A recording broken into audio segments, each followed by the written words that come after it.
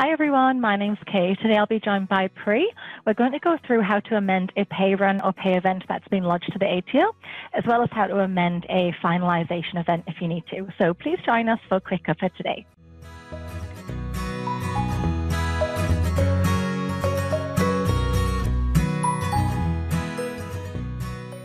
Hey Pri, thank you so much for joining me for QuickCuppa today. Hoping you can help me out. Essentially, what I've done is I've finalized my pay run. I've lodged to the ATO for STP, but I've actually just noticed that I've made a couple of mistakes, and I'm hoping that you can help me out here. Yes, of course I can. Um, so if you have already lodged with the pay event with the ATO, and have also paid your employees, then you can simply create the new ad hoc pay run for the same affected period um, just from your employees tab and create new ad hoc pay run. Add the necessary changes in the pay run to reflect the right figures, and then finalize the pay run and lodge it directly with the ATO. However, in the second process, I mean, in the second scenario, if you have lodged with the ATO, but you have not yet paid your employees, you can then unlock the existing pay run and then make the necessary changes finalize the pay run. Once you have finalized the pay run, um, access the employee's dashboard and then go to the reporting.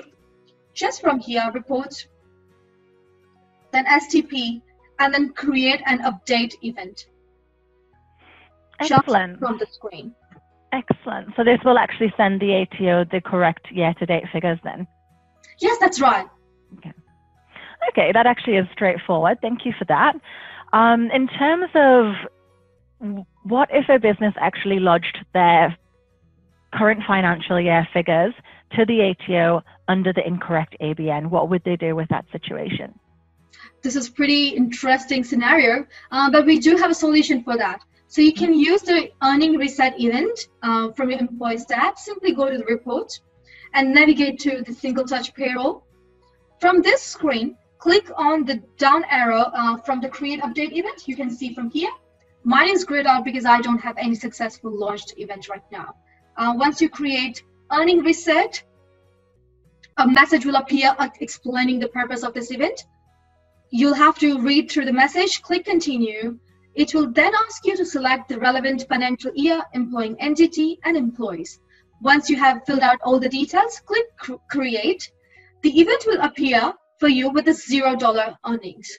Once you will, all you need to do is verify the information and then proceed further with lodging with the ATO. Okay, so I essentially just reset what I've done. That that seems pretty straightforward, but how do I then go about actually correcting the ABN? Yes, so once you have successful reset, you will have to go to the detailed section from within the payroll settings um, and then rectify your ABN. Just from the payroll settings and the details, Mm-hmm. You will then be able to rectify your ABN just from the screen. Um, as I've highlighted, hit save. Ensure that new ABN is integrated with the ATO and uh, for STP reporting so that your lodgement doesn't fail.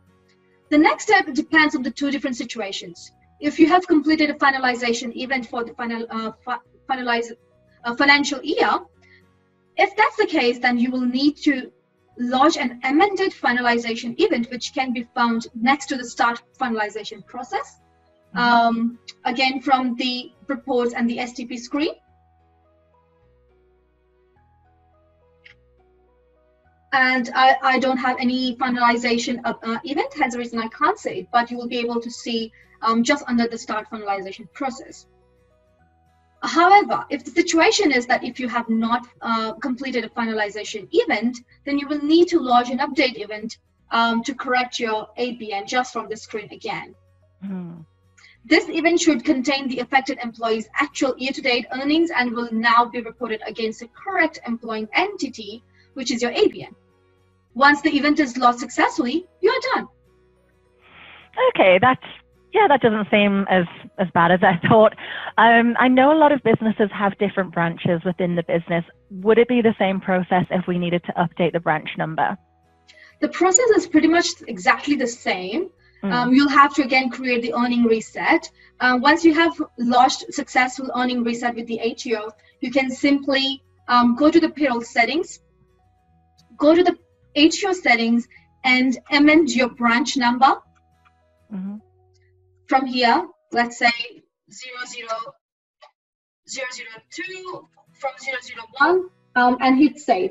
Once you have done that, again, the situation remains exactly same as rectifying your ABN uh, with the two different situations, whether you have finalized, um, completed your finalization event or not. Um, accordingly, you can take the necessary action. And that's it. That's all you have to do, and you are done again.